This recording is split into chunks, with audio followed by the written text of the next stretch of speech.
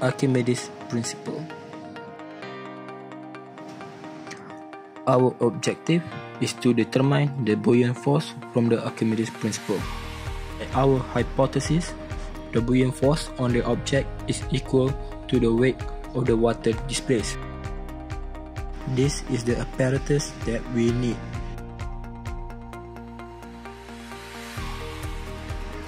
Retort stand and spring balance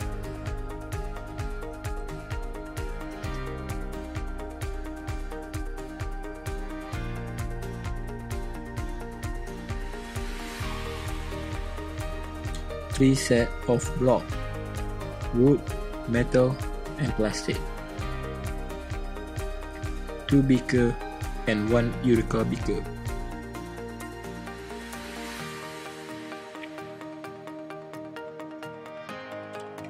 And also scissor and string.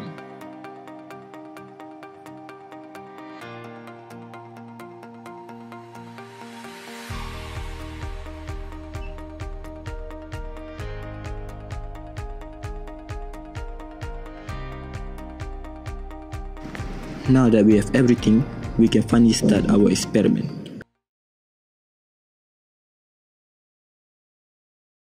Our experiment will be done by Miss Ika. First, we need to record the mass of the beaker without the water. We got 102 on this beaker.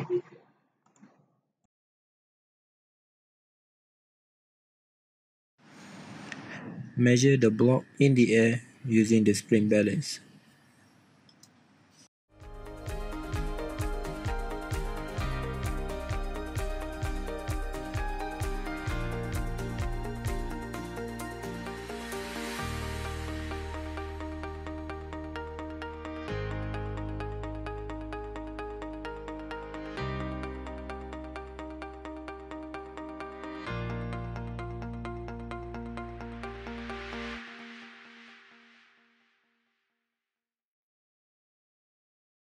Then we will fill the Eureka beaker till full. One way that we can know that our Eureka beaker is full till the maximum capacity is by making sure that all the overflow water have completely flowed down the Eureka beaker output hole. Then we need to set the apparatus as follow. Then tie the wooden block to the spring balance with strings. Then we can gently move down the wooden block.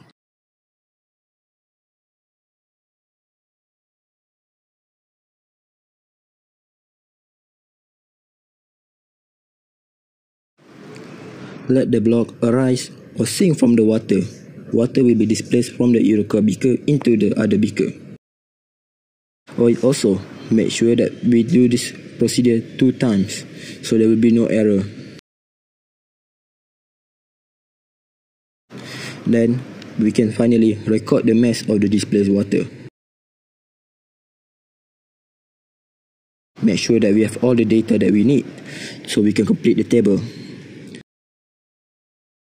When we finish this with the wooden block, we can also do this to the plastic block and also the metal block. Just repeat the same procedure.